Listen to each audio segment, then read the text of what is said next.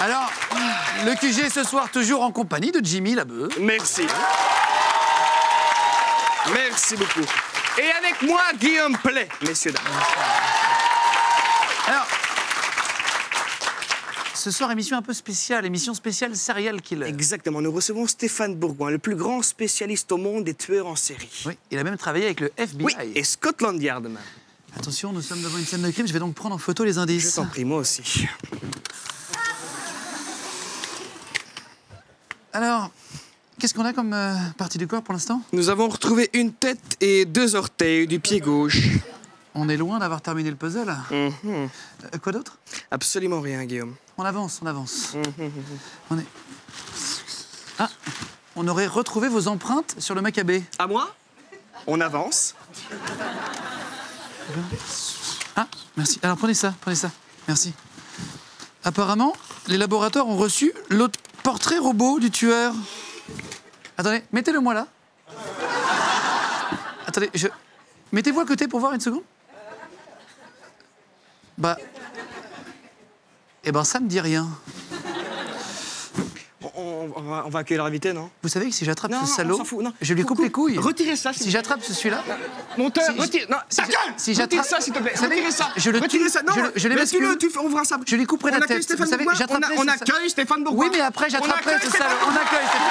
On accueille Stéphane. Bienvenue. Ah.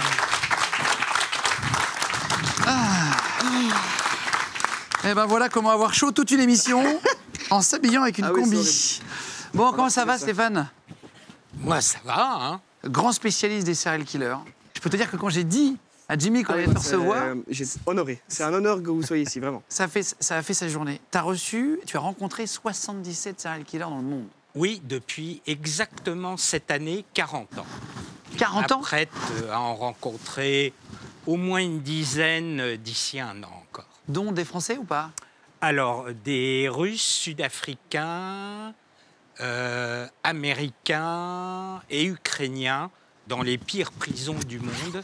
Je vais être suivi par le plus grand photographe de guerre américain, Jonathan Alperi, pour des reportages pour le New York Times et la presse féminine américaine, Vanity Fair, GQ, parce que curieusement, depuis que je travaille sur ce domaine, euh, j'ai à peu près 75 à 80% euh, de lectrices par rapport à des lecteurs.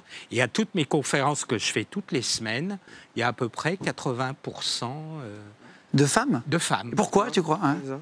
Déjà, les femmes lisent plus que les hommes. Elles sont On lit pas les mêmes livres, c'est différent. elles sont plus souvent victimes. Ah. Elles s'intéressent euh, plus souvent à la psychologie. Et je dirais, hélas, aussi, une frange minoritaire sont dangereusement fascinées par les tueurs en série, vont faire des demandes en mariage euh, auprès de certains tueurs, y compris des tueurs euh, gays, euh, qui vont épouser euh, certaines de leurs fans. Et les fans rencontrer des fans déséquilibrés. En ce moment, c'est assez calme, j'en ai que quatre hein, qui me harcèlent. J'en ai que quatre. Oui. C'est vrai? Oui, ouais, ouais. C'est, ça me pose plus En ce de moment, c'est problèmes calme, j'en ai que quatre. que de rencontrer les tueurs eux-mêmes. Ah oui? Oui. Alors, on a un truc pour commencer l'émission à chaque fois, ça s'appelle le CV Ouais. de l'invité. On va te poser des questions, réponse simple, petite question. Alors, nom, prénom, âge. Bourgoin Stéphane, 66 ans. Profession, à toi Profession? Ah, euh, J'ai du mal à en trouver une. Je ne suis pas profiler, puisque je n'ai pas l'ombre d'un diplôme, je suis autodidacte. Mais j'ai écrit euh, 60 bouquins sur les affaires criminelles à ce jour. Le premier date du début des années 80. Et j'ai fait une centaine de reportages pour la télé, euh, pour toutes les chaînes où on voit euh, un certain nombre de mes entretiens avec les tueurs. Et tueuses, parce qu'il y a des femmes tueuses. Tu en parles un peu moins parce qu'il y en a moins, je crois. Il y a 12 à 15 de femmes. Alors, ju- juste pour expliquer, euh, euh, ceux qui ne te connaissent pas, comment tu es rentré là-dedans? Alors, Un peu glauque l'histoire, mais est-ce que tu veux bien réexpliquer une énième fois? Est-ce sais que tu n'avez pas fait de, de- de- de psychologie, de criminologie ou quoi que ce soit Vous n'avez pas de diplôme, donc comment vous êtes arrivé là-dedans? Parce qu'en 76, euh, ma compagne a été violée et assassinée par un tueur en série. Euh, il a été identifié, arrêté en 78. Il a tué en tout une douzaine de femmes. Et à cette époque-là, le mot serial killer n'était pas encore inventé. Comment ça s'est passé en fait? Tu, tu n'étais pas là, euh, elle était seule à la maison. Comment euh, elle Bah, Qu'est-ce qui s'est euh, passé? Est-ce que tu l'as jamais vraiment trop expliqué? Non, en fait, euh, elle était au mauvais endroit, au mauvais moment. Elle a répondu à l'interphone. euh, et De chez vous? Oui, oui. Il est venu chez toi en fait. ce Oui, concert. oui, oui, je vivais aux États-Unis à l'époque. hein. Elle a répondu et euh, je dirais c'est tombé sur elle.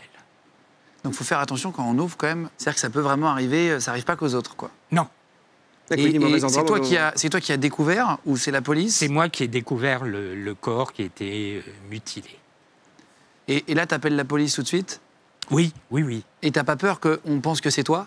Bah, au départ, si, évidemment, hein, euh, puisque l'endroit le plus dangereux au monde en matière d'homicide, tenez-vous bien, c'est pas la sortie de discothèque à 4 heures du matin, c'est pas le parking euh, isolé, c'est le domicile familial, où plus de 80% des meurtres sont commis à travers le monde.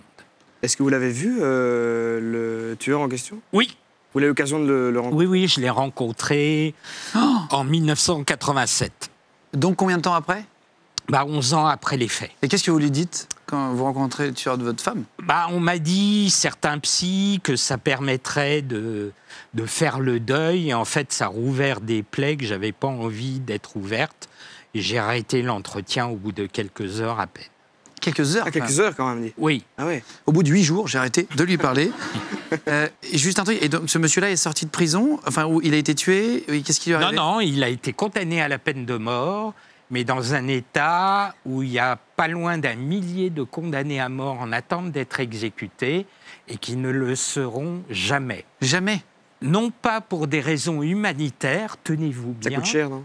parce que ça coûte 10 à 15 fois plus cher Ah ouais. d'exécuter quelqu'un de le garder que de le garder ad vitam aeternam derrière les barres. Et pourquoi?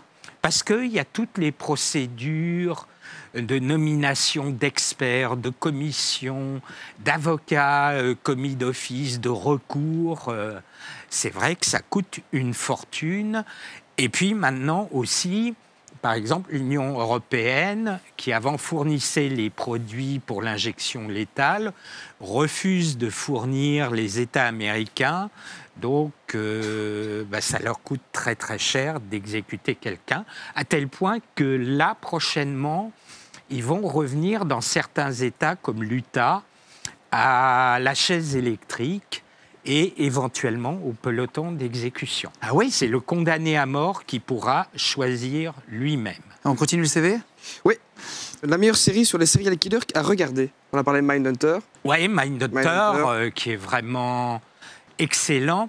Il y a une série anglaise qui est très très peu connue, qui s'appelle Cracker. Et c'est vraiment une série que je recommande très fortement. Regardez, ouais. Ensuite, il y a une série avec Hélène Mirren, qui a eu l'Oscar de la meilleure actrice pour avoir joué la reine Elisabeth, qui s'appelle Prime Suspect, suspect numéro 1 Oui, c'est- qui est rediffusée assez souvent, ou euh, une série aussi québécoise, qui là aussi existe en DVD, qui a été diffusée en France, d'ailleurs doublée, puisque l'accent québécois étant à couper au couteau, qui s'appelle Fortier. Ça, c'est mes séries préférées avec Mindhunter. Ok. Euh, Une célébrité française qui a une tête de serial killer. Ou un homme politique. Ah ben, il y en a beaucoup. Hein. D'ailleurs, euh, prochainement, j'envisage euh, de faire peut-être un, un- un livre sur la, la psychopathie en col blanc, parce que je trouve qu'il y a beaucoup de rapprochements à faire entre les hommes politiques Politique, ouais. ou les chefs d'entreprise Et le killers comportement des serial killers. Parce que ce sont des manipulateurs, des menteurs qui n'ont pas d'empathie, pas d'affect et qui manipulent euh, leur entourage ou leurs électeurs. Pour ou contre la peine de mort? Qu'est-ce que tu en penses en France Totalement opposés à la peine de mort. Même pour ces mecs-là? Oui, je ne pleure pas lorsque l'un d'entre eux est exécuté. Par contre, euh, je trouve que c'est s'abaisser à leur niveau que de les exécuter. Et puis on se rend compte que dans certains États, par exemple euh, l'État de l'Ohio, qui est pourtant toujours dirigé par des républicains purs et durs, des fans de Donald Trump ou autrefois de Ronald Reagan, ils ont exécuté une- pas loin d'une vingtaine d'innocents euh, parce que lorsqu'il y a eu les progrès de la police technique et scientifique et de l'ADN, on s'est rendu compte qu'un certain nombre de ces personnes exécutées étaient totalement innocentes de leurs crimes. Ah. Alors, la, la pire phrase entendue par, de la bouche d'un serial killer. Alors, très certainement, Michel Fourniret, que j'ai Ouais. pas encore rencontré, il dit cette phrase terrifiante Les familles de mes victimes devraient Me me, remercier. remercier. chaleureusement parce qu'ayant violé leurs fillettes, je les ai tuées et ainsi j'ai évité à ces fillettes et à leurs familles de connaître un traumatisme à vie. Euh, gros serial killer français. On, on va en parler euh, si tu veux. Il s'est fait, il s'est fait attraper. Alors tiens, je crois qu'on on l'a jeune. Voilà, au moment où il s'est fait Ouais. arrêter. Euh, C'est même lui qui avait dit à une de ses. euh, une des filles qu'il avait, euh, qu'il avait pris qu'il était pire que du trou. Je suis pire que du trou. C'est ça, Oui. exactement. Euh, celle qui. Dans la voiture quand il s'est fait arrêter. Enfin là, c'est donc quelques années de prison après. Euh, et il y a sa femme aussi. Je crois qu'on a une photo avec euh, avec euh, Monique sa Olivier. femme. Voilà, Monique Ouais. Olivier. Et, et lui, parce que la particularité de ce couple, c'est qu'ils ont tué ensemble. Oui, tout à fait. hein. C'est le pire tueur en série français pour toi ou? Ah, je pense que oui. Et de tous les livres que j'ai écrits, d'ailleurs, j'ai j'ai tenu à écrire une postface dans ce bouquin en, en parlant du mal-être que j'ai ressenti à écrire ce livre.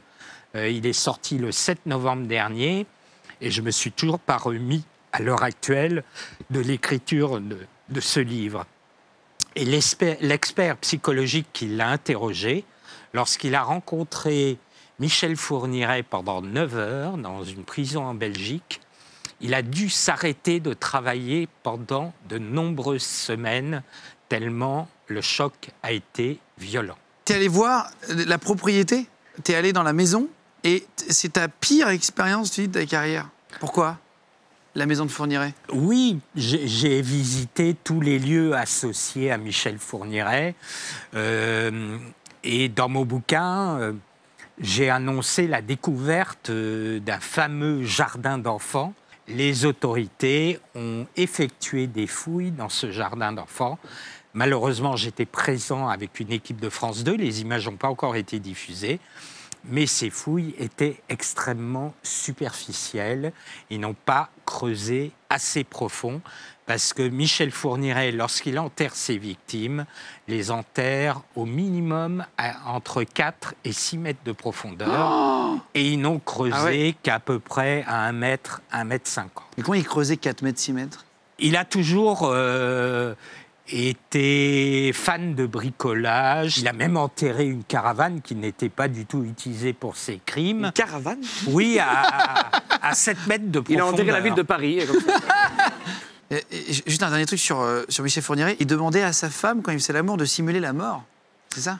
Oui, euh, pendant un mois après qu'il ait tué les victimes, le couple n'avait plus de relations sexuelles. Euh, et après, il fallait que Monique Olivier, pour qu'ils aient des relations intimes, fasse semblant d'être une victime évanouie et morte pour revivre ce sentiment.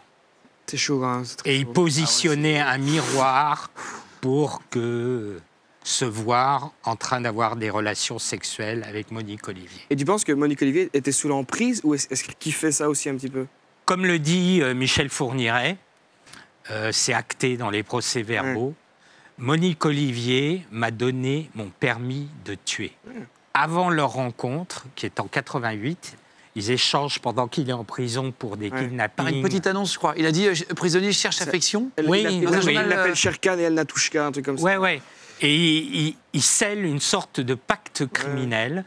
Elle s'engage à lui fournir des jeunes femmes vierges et lui, en échange, va tuer euh, son ex-mari à Monique Olivier va tuer le militaire qui l'a défloré dans un hôtel près de la gare de Metz.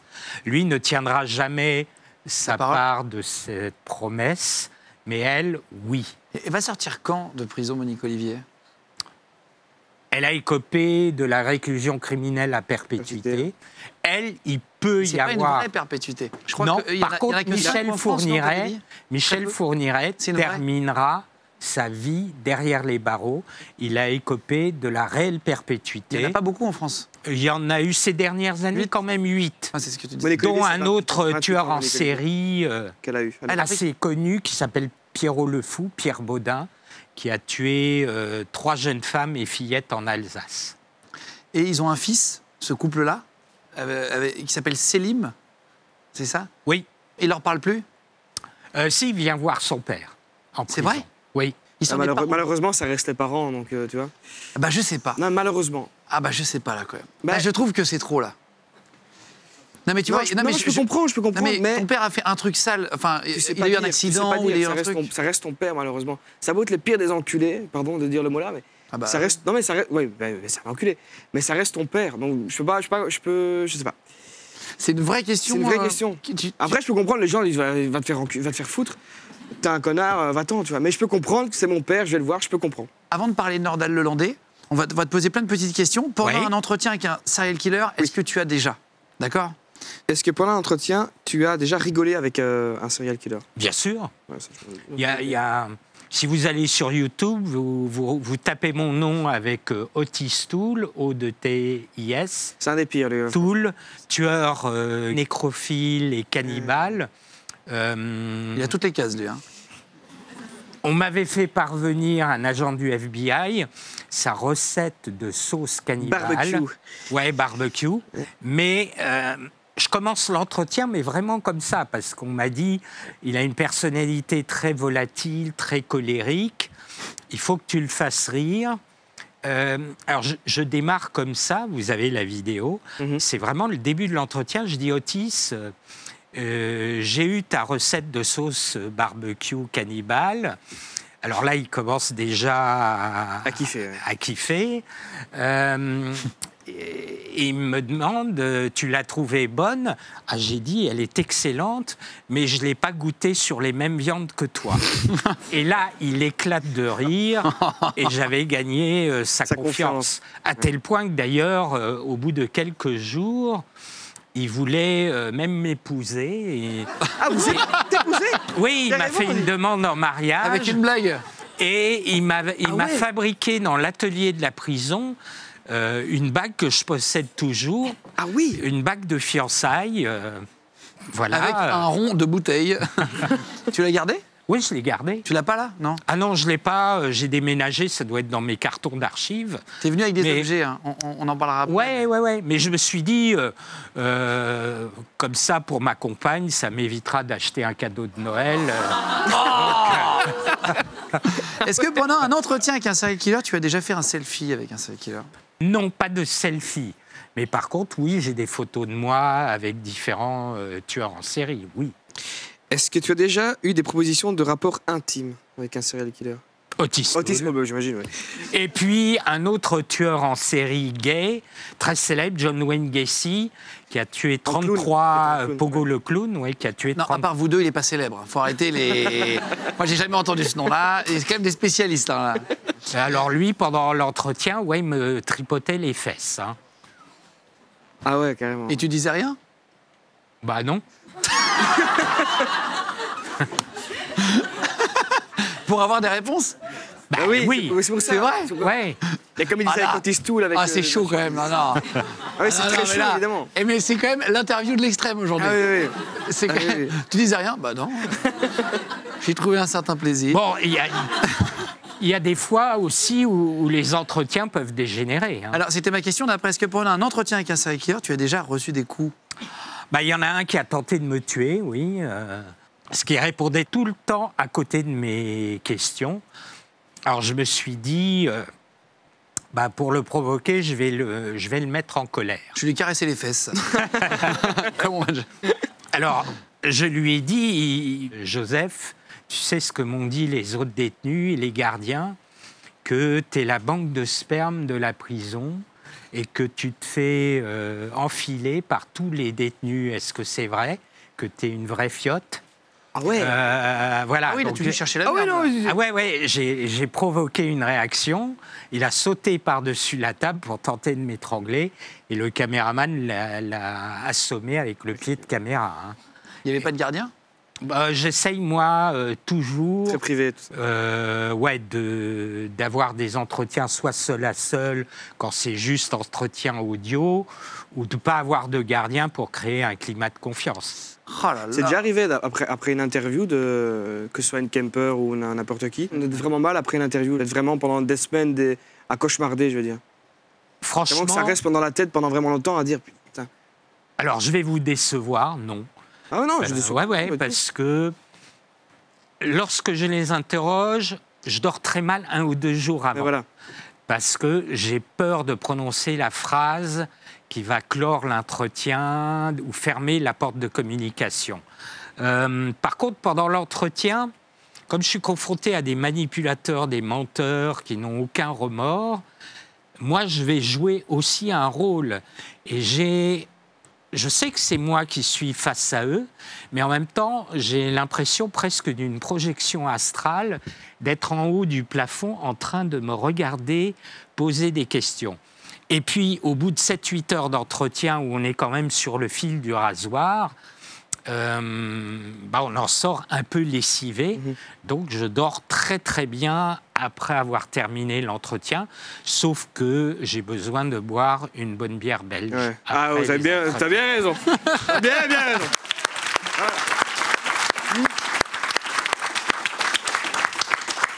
Une bonne chimée bleue. Je- Est-ce que tu as une, t'as une euh, fascination pour, pour ça aujourd'hui, à tel point que ton répondeur téléphonique fait peur Oula, oula, oula. Qu'est-ce que c'est que ça Qu'est-ce que c'est que ça Non mais en fait, j'ai appelé Stéphane il y a quelques jours et je suis tombé la première fois sur son répondeur et j'ai eu peur. et je me suis dit, tiens, j'ai dû me tromper de chiffre. Et du coup, je rappelle une deuxième fois et il répond. Et je lui dis, mais ton répondeur, il me dit, oui, je sais. Alors, est-ce qu'on l'a en régie? Est-ce qu'on peut le mettre? Dites-moi juste oui ou non, mais le, le son. ah, on va le mettre le son sur le plateau, vous allez l'entendre. Je l'ai enregistré du coup avec une application pour enregistrer. Écoutez le vrai répondeur de Stéphane Bourgoin.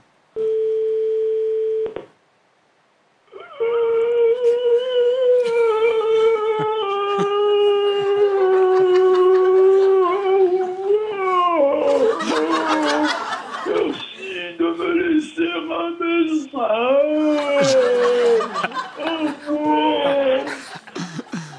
Très bien. Voilà, et après, il y a le- Mais c'est quoi Attends, mais. Qu'est-ce que c'est que ça tu, et tu crois Stéphane à l'arrêt de bus en train de faire son répondeur Pourquoi t'as fait ça? Oh bah parce que euh, je suis plongé 10 à 12 heures par jour dans un univers plutôt morbide, puisque je travaille aussi sur des cold cases. Donc euh, j'essaye de mettre un peu d'humour dans mon existence. Et ça, c'est pas drôle, ça fait juste peur. Ça fait juste très On est d'accord, non Et puis ça m'amuse quand des journalistes, par exemple, de chaîne info, de BFM ou autres, euh, m'appellent pour m'inviter en plateau. euh. Il y a les mecs du FBI qui disent Tu peux m'aider Merci, Stéphane. Non, mais. Ah, mais c'est très marrant. Donc, c'est ton vrai répondeur, tu confirmes Ah oui, hein oui, oui, oui, tout à fait. Je me suis permis de l'enregistrer, je me suis dit. Ouais, bah, quelquefois je change, euh, d'autres fois je mets des musiques fois, de c'est- films. Ah, Stéphane a passé une bonne soirée. Euh, alors, il y a des euh, serial killers qui ont des pseudos Ouais. assez, assez fous. On va te donner des pseudos, tu vas me dire si c'est des vrais ou des faux. Le tueur au bocaux. Euh, oui, C'est une bonne vrai, réponse. Il s'appelle Lam Corwan. Il, Il mettait mal, les lui, organes ouais. sexuels de ses victimes Oui. dans des tupperwares, dans des bocaux. Voilà. Tu, tu connais cet homme? Enfin, oui, tu- oui, mais je tu ne l'ai pas rencontré, oui. Oui, je crois que c'était bien avant toi, ça. Oui. Je crois que c'était dans les années Il y a 40. des photos, ouais, c'était vraiment il y a longtemps, quoi. Alors, Rambo, rien à voir avec le film. euh, Il y en a plusieurs qui ont été surnommés Ouais. Rambo. Ah ben là, c'est vrai. Donc toi, tu as raison. Il y en a un vrai. Il s'appelle Louis Poirzon. C'est un Français né à Madagascar. Il a violé et tué des femmes. Ouais, c'est ce- cet homme-là. En fait, son, son vrai pseudo, c'est plutôt le tailleur de pierre. Pourquoi? Parce qu'il était tailleur de pierre, hein, tout D'accord. simplement. Bon, c'est juste son métier. Et le boulanger, pourquoi? Ben, Il était boulanger, euh, voilà.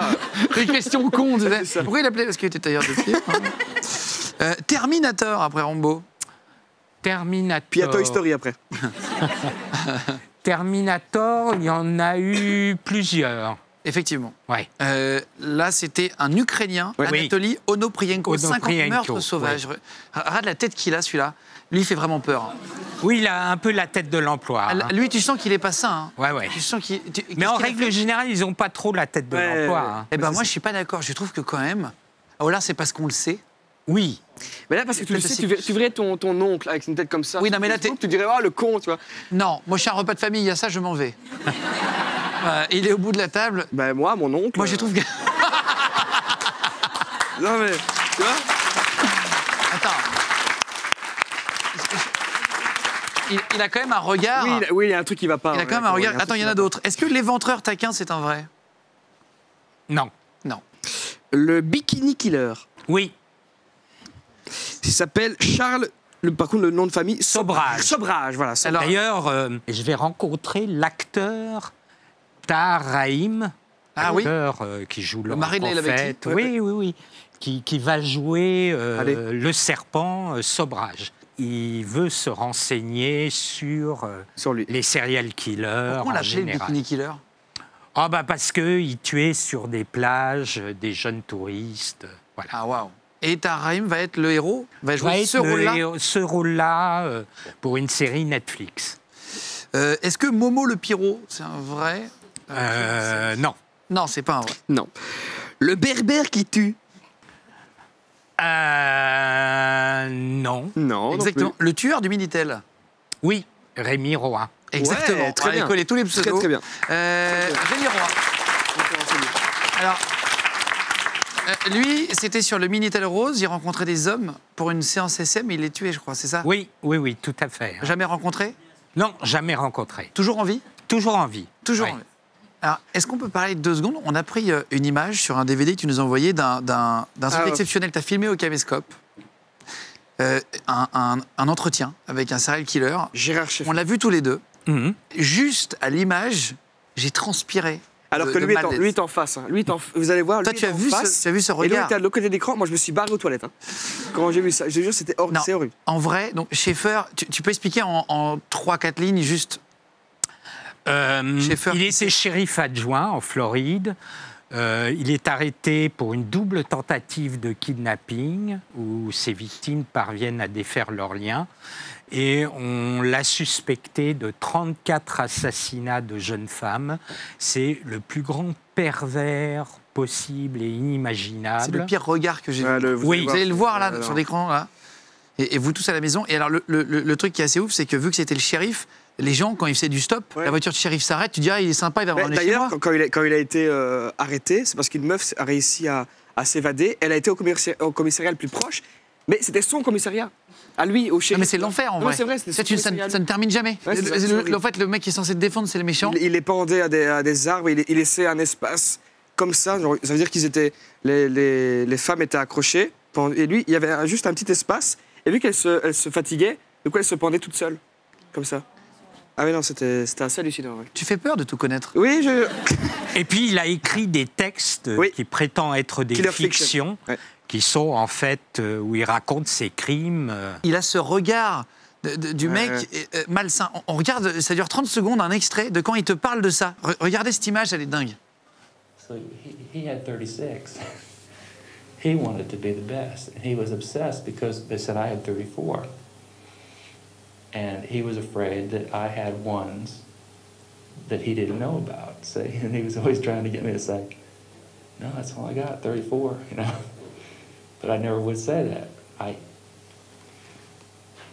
I discerned that he was concerned about the number, and it was my own way of needling him back by saying, I'm the best, Ted.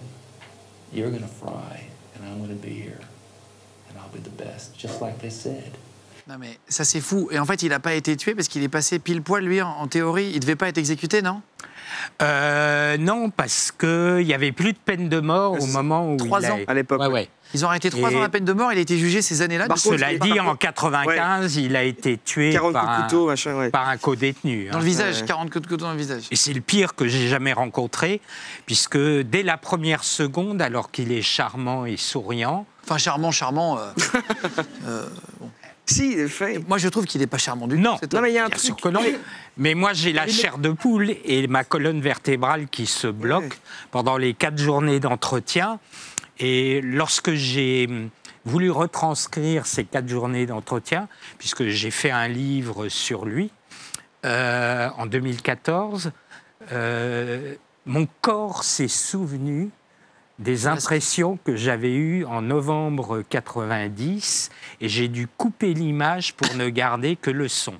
Et même là, j'avais la chair de poule, la colonne vertébrale qui s'est bloquée, une impression que j'ai jamais eue avec aucun autre tueur en série, Parce qu'il avait ni avant, ni après. C'est quoi C'est l'aura qu'il avait de mauvais? Oui, pour moi, c'était euh, le mal avec un M majuscule. J'avais l'impression d'être dans un roman de Stephen King. Mhm. Et il te regardait. Là, c'est toi qui regardais. Oui, oui, oui. Avec ouais, ses me- yeux ouais, non, euh, me- qui piquent là, c'est- c'est c'est incroyable. Puis il y a des moments quand il parle, euh, il prétend être innocent, mais en même temps il me raconte ses crimes. Il y a des moments, fiction. oui, il se pourlèche les babines et c'est vraiment assez terrifiant. Et puis pour ceux qui ont fait euh, un peu des études en matière de psychologie, de PNL, neurolinguistique, euh, son regard se porte vers le haut, ça veut dire qu'il évoque des souvenirs personnels. Tu as bossé avec le FBI, tu as aidé déjà dans des enquêtes. Bah, je bosse sur un cold case français, je dirais pas lequel. euh, un cold case, pour expliquer, c'est une affaire qui n'est pas résolue. qui n'est pas résolu, où les policiers m'ont demandé, en me présentant les photos de scènes de crime, quelle pouvait être mon opinion. Alors c'était notamment euh, des corps d'hommes, euh, soit des jeunes hommes gays, soit des prostituées gays, euh, dont certains avaient été tués dans leurs propres appartements, qui avaient subi beaucoup de coups de couteau, de piqueries, c'est-à-dire des blessures non mortelles par sadisme. Et ensuite, euh, le tueur les avait égorgés pour les violer après la mort, post-mortem. Et avec un- une serviette, il avait effacé toute trace de sang et entouré le visage qui est face contre terre d'une autre serviette. Ils m'ont demandé qu'est-ce que ça pouvait signifier. Pour moi, j'ai dit, le tueur, j'en suis certain, connaissait ses victimes parce qu'il n'a pas voulu croiser le regard, même lorsqu'elles étaient mortes. Alors je leur ai dit, retracez-moi tout le parcours de ces victimes en particulier, et je suis certain qu'on va y trouver le nom de l'assassin. Et effectivement, pour quatre de ces victimes, il connaissait un individu en question qui était présent dans la ville où les meurtres ont été commis. Maintenant, c'est aux policiers d'essayer de trouver les preuves pour mettre en examen cet assassin. Est-ce qu'il y a un truc euh, chez une personne où tu peux te dire, tiens, c'est un tueur en série? Est-ce qu'il y a un truc que dégagent tous les tueurs en série de manière identique, tu vois? S'ils portent un masque de hockey, qu'ils ont une machette à la main, un pull troué ou des griffes d'acier, oui. Mais sinon, non, je dirais qu'ils ont une façade de normalité absolue. C'est ça, justement, c'est- quand, quand on parle avec eux, qui vous décrivent les crimes dans les moindres détails, ils vous parlent de ces crimes, des actes les plus abominables, comme tout un chacun parlerait de sa dernière sortie au cinéma. C'est la banalité dans l'horreur. Pourquoi ils font ça? C'est quoi l'objectif? Alors, c'est pas tant toujours, on dit que euh, c'est un crime de nature sexuelle, il y a euh, des pulsions sexuelles, mais chez eux, c'est le désir de toute puissance, de contrôle absolu de la victime.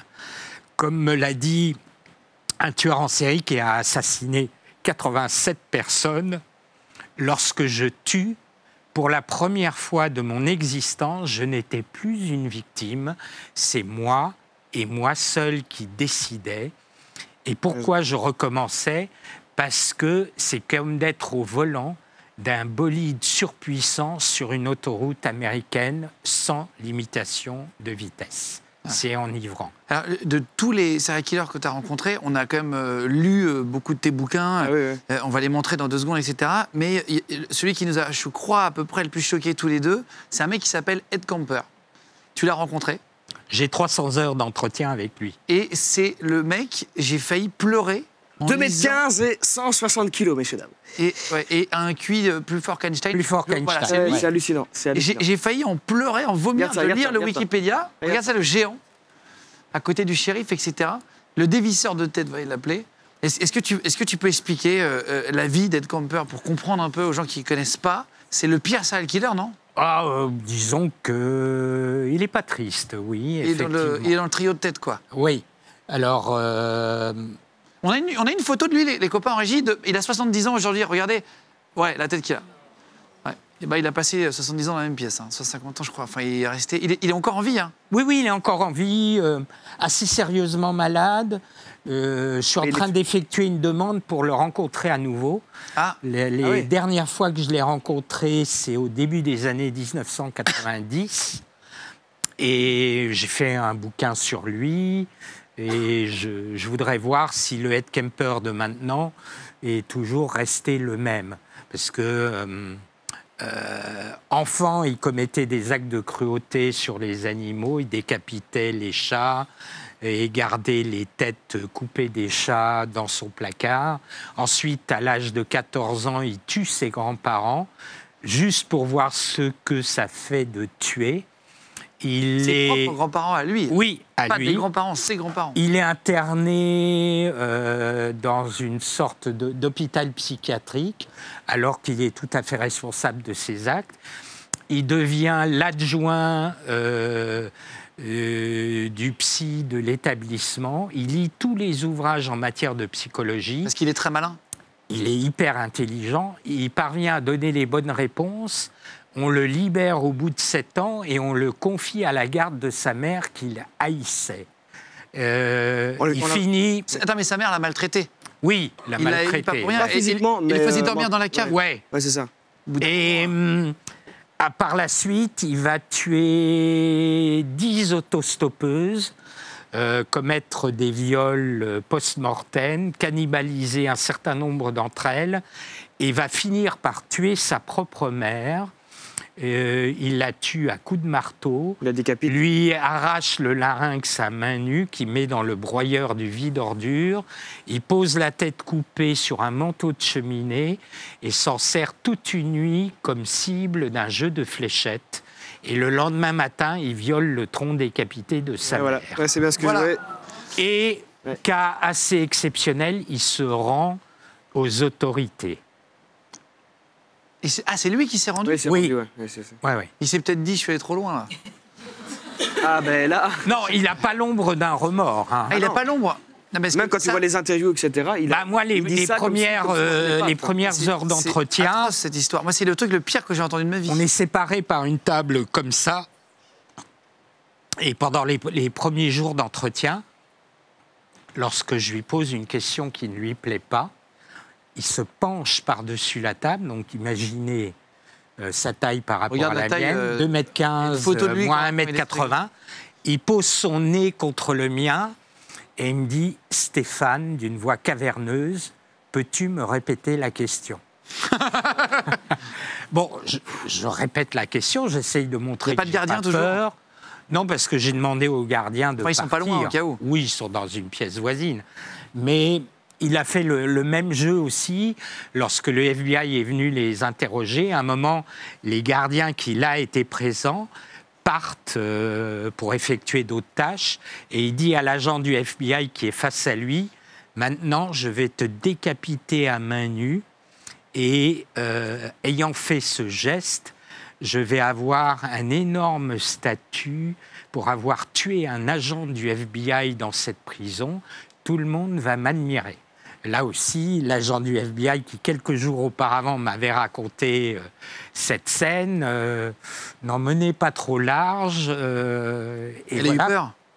Pas vraiment, mais Bah, T'as un doute Euh, quand même. Ah ouais, t'es Ouais. t'es pas à l'aise, quoi. Et puis, euh, au bout de quelques jours, Kemper m'a dit qu'il a juste fait ça pour Pour s'amuser. rigoler, ouais, c'est ça. Et quand tu l'as rencontré dans ton interview, il n'avait pas vu personne depuis 10 ans? Oui. Voilà pourquoi il. Alors, c'est pour ça qu'un certain nombre d'entre eux acceptent de me rencontrer. Pour la visite Soit ils n'ont pas eu de visite, soit ils sont curieux de savoir pourquoi quelqu'un euh, est prêt à traverser l'Atlantique pour venir les rencontrer. Et puis, aussi, euh, ils veulent me montrer que même s'ils vont terminer la vie, leur vie derrière les barreaux, ou qu'ils sont condamnés à la peine de mort, c'est eux qui restent les maîtres de la situation et ils vont essayer de me manipuler, de montrer leur toute-puissance. Donc à moi de rentrer dans leur jeu pour les interroger. On, on va rappeler, tu es en train de faire une tournée des cinémas en ce moment, des cinémas CGR. On va mettre toutes les dates, pareil, sous la vidéo euh, YouTube avec les liens de tout ça.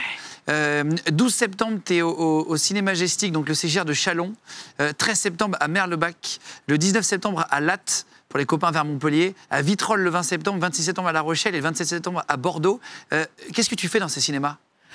Alors, j'ai préparé euh, un montage, j'aime pas dire le terme best-of, hein, de mes 40 ans d'entretien avec des tueurs et tueuses en série, euh, et qui est fait spécialement et qui ne sera montré que dans les salles CGR, et sera accompagné. Tu seras là? Ah bah bien sûr. À chaque fois, tu fais à des chaque dédicaces, fois, tu je rencontres, suis tu parles. là, dédicace, euh, questions-réponses, ça va durer au moins trois heures, hein, parce que je suis assez bavard, comme vous avez pu vous en rendre compte. Et il y a deux livres qui vont sortir aussi euh, aux éditions French Pulp, euh, Les Féroces, The Green River Killer et, euh, et alors Dr Holmes, c'est en 1890. Une histoire avec un hôtel, un maître d'hôtel. On vous mettra les liens. aussi. Et Dr. Holmes doit être incarné pour une plateforme un peu comme euh, Netflix, qui s'appelle UU, par Leonardo DiCaprio, qui produit Ah et réalisé par Martin Scorsese. Ah ouais Ce qui est quand il joue même, le rôle excusez d'un du mec- peu. Ah il, avait un, il avait hôtel et il avait des, des piscines d'acide, il faisait tomber les gens dans des pièges et tout ça, le gars. Le mec était chaud aussi. hein. C'est-à-dire qu'il avait. euh, Il avait construit une sorte de château à Chicago avec 200 pièces truquées. Oh là là 200 pièces, c'est une grosse maison. C'est une belle maison, ouais. c'est- Pas un T2. hein. c'est une belle- Euh, c'est un T200. Euh, Est-ce que tu peux nous montrer, pour terminer l'émission, les, les- les peintures de tueurs en série? Alors, il n'y a pas que ça, je vous montre aussi qu'à l'époque, au 19e siècle, regardez les unes de, de certains journaux. C'est quand même assez gore. Je ne sais pas si dans un journal à l'heure Oh là actuelle... là, C'est une vraie page de journal Ah oui, oui, c'était vendu sur les marchés à la criée sur Ah un ouais. tueur en série qui a sévi à Paris. Gaston justement.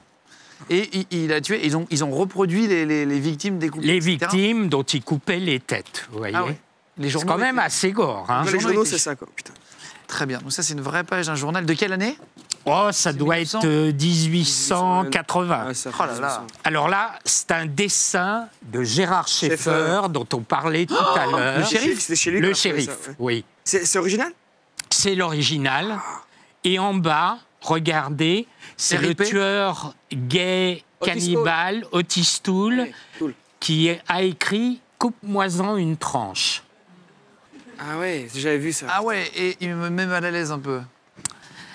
Alors, Ça, c'est des peintures c'est des peintures de quelqu'un qui a été euh, surnommé l'éventreur de Gainesville, Danny Rolling, qui m'a donné ça dans le couloir de la mort en attente de son en exécution. 97, c'est marqué. Ouais. Daniel Rowling, 97.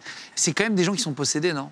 Et alors lui décapitait ses victimes, avait des relations sexuelles avec les têtes coupées de ses victimes. Très bien. Alors là aussi, j'ai d'autres peintures de Danny Rolling. C'est pas beau, par contre. hein. C'est ouais, c'est Euh, Et vous avez vu, il y a toujours des objets pointus, Oui, tu sens des a angles. euh, Oui, il y a des dragons, il y a des, il y a des, Ouais, ouais. il y a des choses mortes, toujours, enfin, ou quasiment.